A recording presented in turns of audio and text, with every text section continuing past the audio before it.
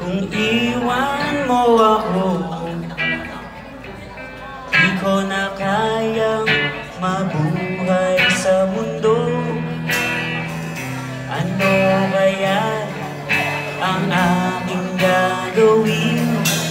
Tulog